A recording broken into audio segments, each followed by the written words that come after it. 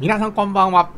やっすん TV のやっすんでございます。大変ご無沙汰をしております。ご無沙汰しまくってるうちに、もう年の瀬、今日は12月30日ですね。2021年もあと2日になっちゃいました。はい。というわけでね、まあ、前回、お酒やめましたよっていうような動画を上げたんですけど、今回はちょっとその続きでね、簡単なね、日記つけたりしてるんで、それを振り返りながらお酒やめましたよっていうそんなお話をちょっと皆さんに届けようかな。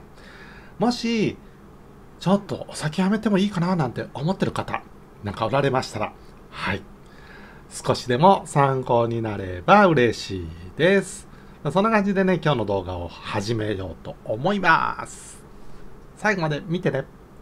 チャンネル登録してね。まあそんなことを言いながら、あのーやってるんですけども、はい。まあ、もう最初はね、禁酒のつもりで始めたんですよね。まあ、禁酒チャレンジ、今までにも何度かやってたんですけども、ま今回も禁酒チャレンジ、100日ね。100日。で、こっちか、100日。100日チャレンジをしようかななんて思って始めたんですけども、まあ、今回の禁酒、ちょっと今までと違いまして、はい。何が違ったかっていうと、まあ、我慢というものが一切なかったんですね。はい。まあ、今までもそんなにめちゃくちゃ我慢しなくちゃいけなかったっていうこともなかったんですが、今回は本当にストレスフリーで、全然我慢をしてない。そんな100日どころかっていう話なんですけど、そんな禁酒期間でしたね。で、もう一つ挙げるとしたら、体調の変化っていうんですかね、まあ、体調の変化があったにあったんですけど初めてかなやれるとこまでやろうって言ってやった時があったんですけどもちょうどね新月旧正月みたいなねその日が誕生日も重なったのかなちょうど新月で旧正月でっていう。なんかちょっとこれは面白いなと思ってその日から始めた禁酒チャレンジがあったんですけどもまあ、結構最初滑り出しよくって調子よく禁酒続けられてたんですが新月が近づいてきたらなんか体調悪くなってね。であれ？と思って。まあまあまあ1回目のね2月の新月はまあまあと思って。そして次3月の新月でもまた体調悪くなって結構熱出たりね風邪ひいた感じ。それもきつい風邪ひいた感じ。で4月の新月になってもまたっていうのでね。まあ、デトックスじゃないって言ってくれる人もいたり、あの中にはね、あのアルコール消毒してないからそうなるんだよみたいに、言われる人もいたりしたんですけども、まあ、その3回続いて、もう新月3回続いて体調崩しまくって、で、その4月の新月の時に確か、あもうダメだって言って飲んだのかな。で、それでもうチャレンジは終わって、そこから飲み続けるみたいな日々がまた続いたんですけども、はい。それが体調の変化ですよね。以前にチャレンジした時の体調の変化は悪化することがあったんですよ。ね、体調が悪くなるっていうことが結構あったんですけども、今回は体調一切悪くならなかったんですね。どころか、まあ、よくてよくて体調良すぎてみたいなね、よくしかならないみたいなね、そんな感じでもありました。まあ、僕自体がね、知ってる方はもうご存知かと思うんですが、1年間で360日は飲んでるんじゃないかっていうぐらい、ほぼ、ほぼ毎日お酒を飲むんですね。はい。それをもう、そうだな、まあ軽く見積もっても20年以上は続けてるのかな。まあずっとね、360日飲んでたかって言ったら、もうちょっと少ない年もあったとは思うんですけども、はい。まあ20代の半ばぐらいからかな日々お酒飲むようになったのは、はあ、ねお店入ったらとりあえずビールっていうのがもう僕の決まり台詞。決まり台詞？決め台詞。決めてるわけじゃないんですけどね。はい。もう定番台詞ですよね。はい。そんな日々を過ごしながら二十数年もまあ基本そんな勢いで20年以上飲み続けたこの僕が今はすっかりお酒を飲まずにまあ、必要がなくなったっていうんですかね。そんな状態にまでなっちゃいました。はい。まあ、今回のその禁酒チャレンジはですね、まあ、ちょっとあることがきっかけというか、まあ、たまたまその日はねあのお酒を飲まずに過ごしたんですね。あの着せずしてっていうのかな。そんなつもりはなかったんだけどちょうどバーベキューに誘っていただいて、まあ、バーベキューだから飲むだろうってなったんだけど、車で行ったので、運転してくれる方にちょっと気を使って、まあ飲まなくてもいいのかななんて言ってたんですけども、まあ、その時は、まん延防止のかなんかで、もうバーベキュー会場もお酒ちょっと NG だったんですよね。だからお酒の提供もなかったので、まあ仕方なく、その日はね、まあちょっとバーベキューでノンアルはねえなとか思いながらも、でもまあまあね、今日はソーダで 乾杯みたいな感じでね、過ごしてたんですけど、それがね、意外に、意外に、普通にお酒なしでも楽しかったんですよね。もちろん料理も美味しいですし、はい、全然楽しめて、で、帰ったわけですよ。まあまあ、お酒なしでも結構いけたなってはい、でそれで家に帰ってなんか久しぶりにお酒飲まなかったから久々に禁酒チャレンジやってみようかなと思って始めたのがきっかけなんですよね。はい、だから、日記にもね、はい、1日目、まあ、禁酒1日目、その日が禁酒1日目になりますよね。はい。バーベキュー、ジンジャーエールで意外と平気って書いてますね。今日記見たらそんな風に書いたんですね。でそうやってちょっとやめてみようかなと思ったんですよそしたらちょっとねこれこれまたね不思議なことが起きたんですけどあのーま、YouTube 結構見ることが多いんですが、おすすめ欄ってあるんですよ。YouTube のおすすめ欄。そこに、禁酒の動画が上がってきたんですよ。別にまだね、禁酒のこと YouTube で検索かけたりしてなかったんですけど、あの、ポーンっていきなり、あれって感じで、品種に関する動画が上がってきてて、なんだなんだ、ちょうどいいタイミングだなと思って、その動画を見たんですよね。そこからなんですよね。その動画っていうのが、あの、書籍の要約動画っていうのが結構あったりするじゃないですか。その動画の主が要約してくれて、まあ、まとめてちょっと紹介するみたいな本の中身をペラペラっとこうめくって読んだような気になれる動画があるんですけどそんな動画で紹介された本がタイトルがねそろそろお酒やめてもいいかなって思った時に読む本みたいなねなんかそんなタイトル。もうバッチシ今のちょうどその時の僕じゃないですか。であこれ面白そうだと思ってあの YouTube つけてみて見たらもう中身がドンピシャと言いますか刺さりまくりの刺さりまくりのぐさぐさくるような内容だったんですよね。まあ内容については詳しく言わないですけども、まあその動画を見たことで、あこれは本気でちょっと禁酒チャレンジしてみようかなって火がついたんですよ。そろそろお酒やめようかなっていう本ね。はい。ちょっとここに あの入れときますけど。はい、で、まあそその動画を見てから、まあ、調子よく禁酒がスタートしたんですね。幸先よくっていうんですかね。はい。でまあここから日記を見てると、まあ、10日目ぐらいまで順調だよ。まあ多分そんなに変わりもなかったんでしょうね。でまああの日記には書いてないんですけどまあ体調の変化といいますかまあ、さっきはね悪くなることは結構あったんだよっていう話をしましたけども良くなるっていうかもうバーベキューの翌日ですよね。翌日からもう改便の改便ですよ。お酒飲んでた日々は結構ちょっと緩かったんですよね。で特に飲み過ぎた日なんかもう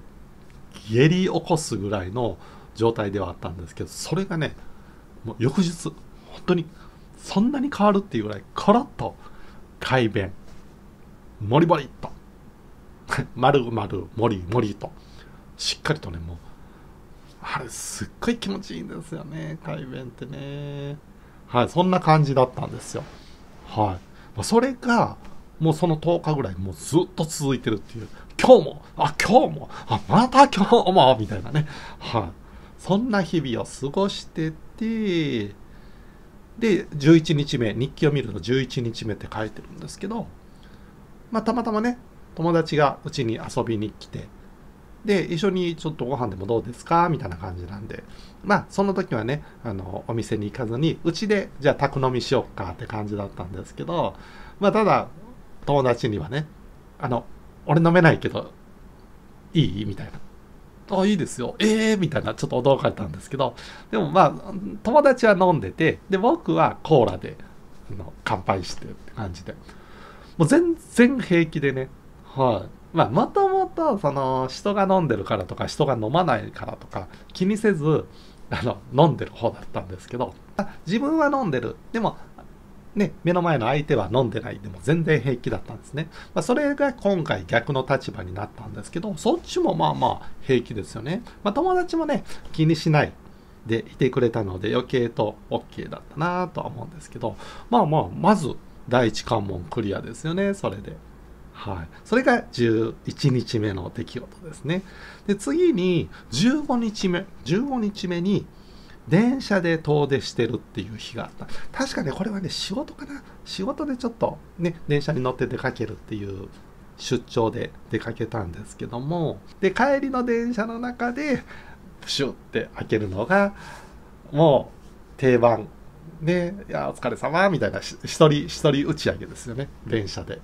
それが定番だったんですけど、まあ、ちょっとそれをしないで2時間半帰り道大丈夫かなって思ったんだけど帰り道全然お茶だけであ平気みたいな。あ全然平気はい、あ、こんな感じでねそれがまあ15日目まあ2週間。そうですよね。まあ乗り鉄が趣味なので僕にとっての乗り鉄ってイコール飲み鉄なんですよね。もう窓際にはね、テーブルには絶対ビールを置いてあるみたいな、そんな感じの乗り鉄の旅をしてるんですけど、乗り鉄の旅が飲みなしで、果たして成立するのかなっていうのがちょっと不安ではあったんだけど、まあそれ、ね、今回仕事帰りの電車なんですけど、まあちょっと、ちょっとね、乗り鉄もいけんじゃないかなってちょっと見えてきますよね。で、それから16日目、翌日、その翌日ですよね。また YouTube でね、えー、面白い発見があって、あの、中田敦彦さんって YouTube 大学っていうのをやってる方いるじゃないですか。お笑い芸人の。オリエンタルラジオのね。で、あっちゃんの、中田あっちゃんの YouTube 大学で、ね、毎回毎回いろんなテーマであの発信されてる面白いチャンネルなんですけど、僕が出会ったそろそろお酒やめようかなっていう、その本をあっちゃんが YouTube 大学で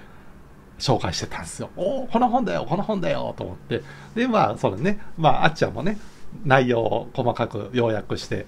お伝えしてくれてるんですけども、で、中田ちゃんも、僕もね、この本読んでからもうお酒飲んでないんですよって言いながらね、あ、一緒だと思ってね、なんかちょっと仲間ができた感じで まあ、向こうはね、全然僕のことなんか知らないんですけど、僕は一視聴者として、あの、なんかあっちゃんとすごい仲間意識を勝手に芽生えて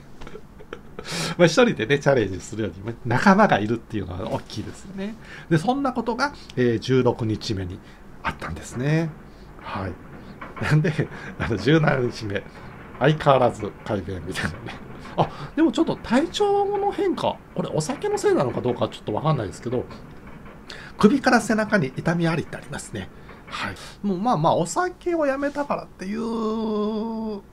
感じではないのかなとは思ってるんですけどね。まあまあそういうこともちょっとありましたね。とね、18日目。そうそうそう、改便は改便で書いてるんですけど、そう、快眠なんですよね。快眠も得れるという。まあ、よくある勘違いなんですけども、お酒を飲んだら眠れるっていうね、話が聞いたことあると思うんですね。あれって実はちょっと勘違い入ってるんですよね。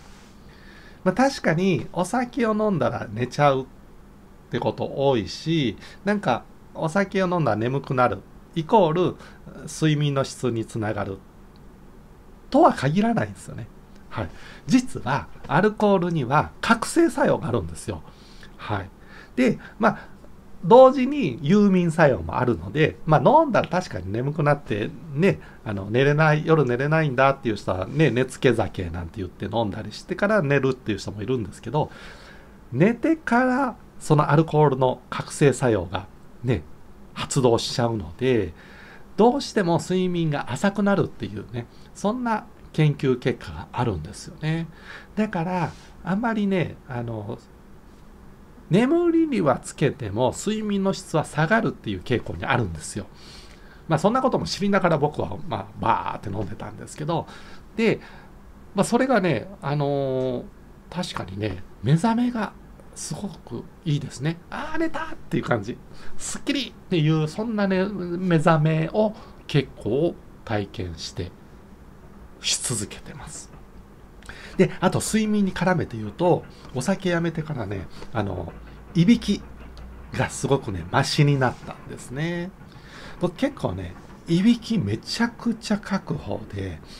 まあ、なんでわかんのって、あの、またまたそんな顔して、あの、あれです、あれです。別に誰かに指摘されてるわけではなくって、あの、アプリでね、結構いびきを測るアプリがあって、で、睡眠中のいびきのレベルね、音量だとか、あの、頻度だとか、そういうのを測ってくれるアプリがあるんですよ。で、いびきは結構自分の中での悩みだったので、結構それで測ったりしてるんですけど、それの結果が結構いいんですよね。そうそうそうそうそう。だから、いびきも結構マシになっていて、そして同時に、まあ僕もずっと悩んでた睡眠時無呼吸の傾向が結構あって、まあ中程度って言われたんですけど、まあ、過料が必要だよっていうようなレベルですね。で、今年に入ってから、あの、外来、えー、無呼吸外来行ったりして、マウスピースとかつけたりしてたりするぐらいなんですけど、それでも全然良くなってはなかったんですが、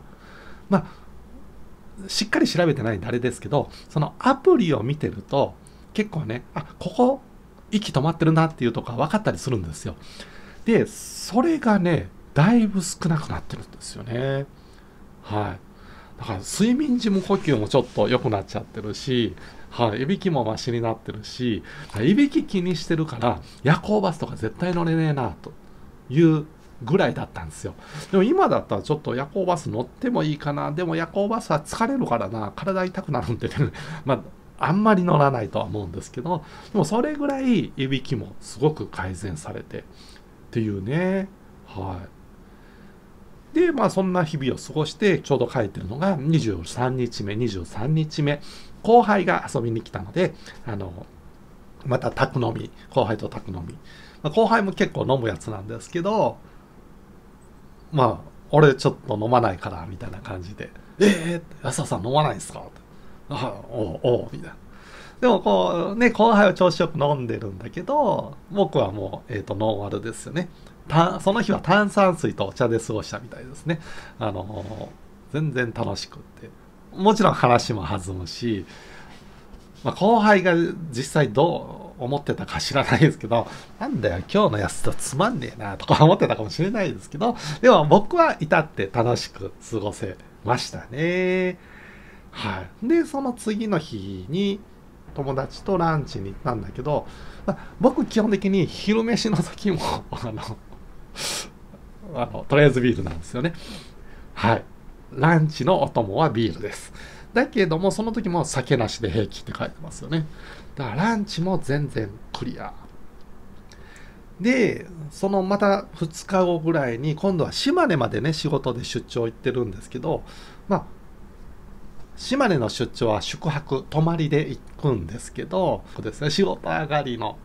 ごちそうとともに飲むビール、たまには日本酒なんていうのもね、すごくいいですよね。で、まあ、いつもね、あの、お世話になってる温泉旅館さんに泊まるので、そこでね、まあ、絶品の料理が出て、料理長の料理がまためちゃくちゃうまいんですよね。はい。その料理とお酒、まあ、ビールを飲みながらその料理をいただいて、もう調子のいい時には日本酒で、みたいなね、もうそれが最高にたまらなかったんですけども、はい。移動中の電車の中でも全くだし、宿でのご飯もノンアル全然平気。はい。で、結構ね、部屋に帰ってからもう部屋の冷蔵庫開けてビール飲んだりしてたんですけど、はい、それも一切手をつけず。みたいな感じの島根出張も無事にノンアルで帰ってきてますね。で、まあずっと一月経過して、ほとんど解消みたいなね。まあアルコールが関係あるのかどうかはわからないけど、ちょっと頭痛が出たね、みたいな日もあったりするんですけどね。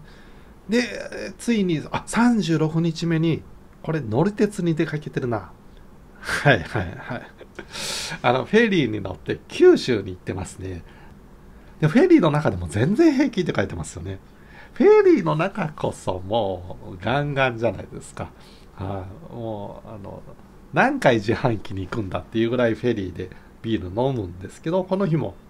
ビールなどの販売もあるが、アウト・オブ・ガン州で過ごしたって書いてあるんですね。まあ3日間ね、乗り鉄の旅をしてたんですけど、一切飲んでないですよね。あ、そう。観光列車でね、これね、隣でね、女性が一人で乗ってたんですけど、その方が一人で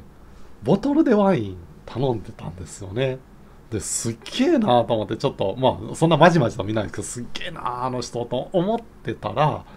なんとその方から「あのもし飲めるんだったら一緒に飲みませんか?」ってお声かかったんですよ。はい。もう過去の僕ならっていうかあの以前の僕なら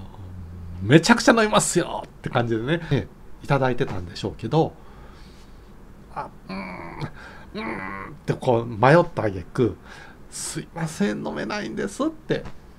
言えた僕がすごいと思いません。そうそう、丁重にね、ちょっとお断りしてね。まあまあでもね、まあ別にだからって気分を害されることもなくね、まあちょっと楽しくお話だけはさせていただいてたんですけど、まあでもそれはね、ちょっと自分の中でも大きな出来事でしたね。断れた自分を褒めてあげたいみたいなね。はい。そんな乗り鉄の旅。だから、乗り鉄イコール飲み鉄っていうのももうバッチリクリアですよね。はい。そうそう。それでもうまあ2時間半かけて出張日帰りの出張の帰りの車内も OK だし乗り鉄をしてても全然 OK だし、まあ、コロナの騒ぎでね飲み会に誘われる機会とかも減ってるので結構ねあの今回の飲酒チャレンジも禁酒チャレンジもやりやすかったのかななんて思うんですがはいはい。これでもうめでたく50日。半分過ぎてますね。で、ちょうど51日目に、またあっちゃんの YouTube 大学動画上がってて、で、それがまた禁酒についての動画だったんですね。はい。で、あ、またあっちゃん、あれからどうなのかなと思って見てたら、まあ、あっちゃんも、あれから僕ずっと飲んでないんですよって言って、あの、あの本を読んで以来、飲酒、あ禁酒続けてるんですよ、みたいな。まあ、この先全然もう、きっと一生飲まないんじゃないかなって思いますよってあっちゃん言ってるんですよ。お一緒じゃんちょっと仲間がね僕僕の中では禁酒仲間なのであっちゃんがあっちゃんがねちゃんと続けてるっていうのは心強いなって思いながら思ってたんですけどその動画の中でちょっとびっくりしたことが一つあったのがその何月何日から始めてるんですよってあっちゃん言ったんですけどそれがちょうど僕の始めた初日と一緒だったんです。まあ、あの、バーベキューに行った日ですよね。それが、あっちゃんも、この本を読んだ1日目。だから禁酒を始めた1日目。だから本当にもう仲間意識が強くなっちゃって、シンクロしてんじゃん。中田敦彦超有名人。ね、トップ YouTuber とシンクロしてるよみたいな、もうすごいテンション上がっちゃったっていうのが51日目にありますよね。で、まあそっから本当にね、もう改改弁も続いてるし、ね、会長だし、みたいな。はい。炎天下の乗り鉄も、ね、もう暑い中、ちょっとね、やっぱカーって飲みたくなるなって思うんですけど、それすらもちゃんとクリアにしながらもう無事に100日迎えるんですね。まあ、その100日間の間、じゃあ一切飲みたい衝動がなかったのかっていうと実はそうでもなくてたびたびね飲みたい衝動駆られることはあるんですよはいでも全然すぐ収まるバーって飲みたいなと思ってて、まあ、すぐってどれぐらいかって言ったら、まあ、10分も経たないぐらいで全然忘れてますよね。はい。そんなぐらいの感じです。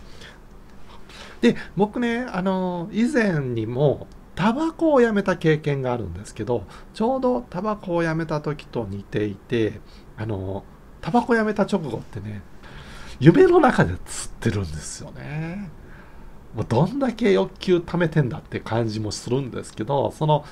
夢の中でその欲求を解消してるのかな、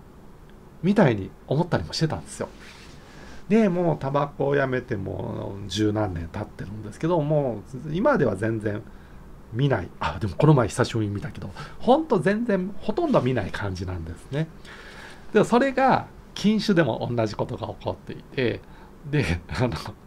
もう夢の中で普通にあビールって頼んでわーってジョッキ飲んで飲んでる時に「飲んじゃったよ」っていう夢を見てるんですよだからねちょっとそれも面白いなと思って。はい。だからタバコやめた時の欲求解消かなと思ってたような同じように夢の中でね飲みたい衝動をちょっと欲求を解消してるのかななんて思ったりするんですけど。まあもう200日近く経った今ではだいぶ見ることもないんですけど、まあ、たまにやっぱ夢の中で飲んでますよね。そうですね。まあそんな経過をたどっていよいよ飲まずのうん年末年越しを迎えるわけですけども。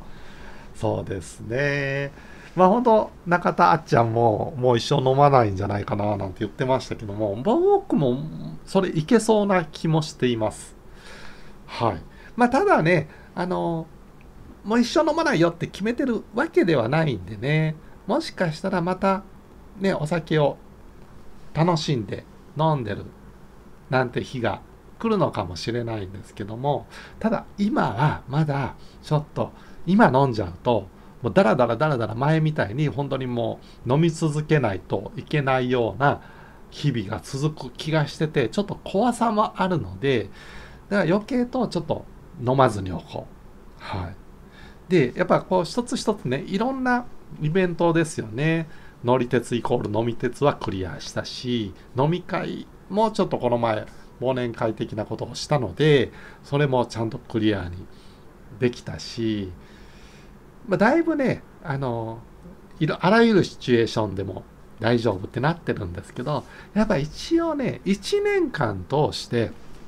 いろんなイベントあるじゃないですか。